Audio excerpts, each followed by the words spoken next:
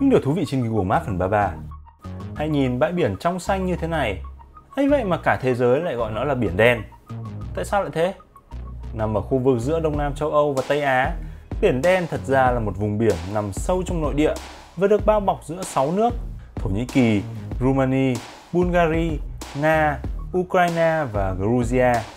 Biển đen thì được nối với biển Địa Trung Hải cũng như là đại dương thế giới qua hai eo biển nông là Dardanelles và Bosphorus.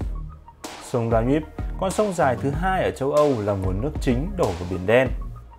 Biển đen hay tên gọi mỹ miều khác là Hắc Hải, có độ sâu tới 2.212 m và diện tích khoảng 436.000 km vuông.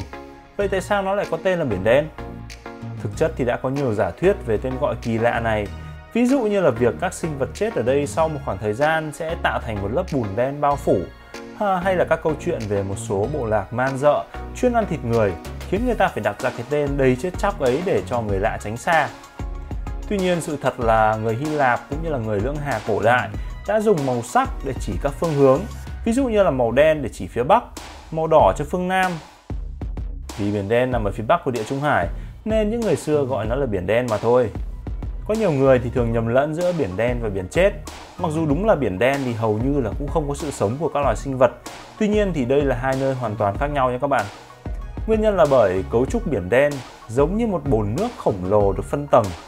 Các lớp nước ở tầng dưới sâu và trên mặt không trộn lẫn được với nhau để có thể nhận oxy từ khí quyển.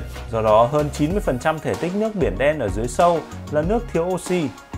Những xác tàu thuyền, thậm chí là xác sinh vật khi được tìm thấy ở dưới đáy biển thì hầu như là còn nguyên vẹn do sự phân hủy ở đây diễn ra cực kỳ chậm. Một điều thú vị nữa đó là biển đen không hề có thủy triều lên xuống, nên là bề mặt nước hầu như ít khi chuyển động. Nơi này thực ra giống một cái hồ nước khổng lồ hơn là biển.